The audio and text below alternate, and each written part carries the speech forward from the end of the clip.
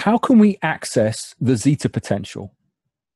What phenomenon can we exploit to provide us with some way of measuring the zeta potential? The most common is electrophoresis, which is the motion of a charged particle in an electric field. If you apply an electric field using two electrodes, then a particle will move towards the oppositely charged electrode, and there'll be a balance between the force trying to move it towards the electrode, the electrostatic force, and the friction force due to the viscosity of the liquid.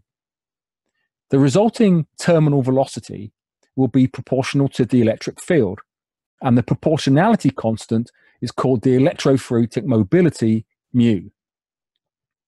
At the same time, the diffuse layer of ions around the particle will try to move in the opposite direction, towards the other electrode. Clearly, there's going to be some kind of balance between the two.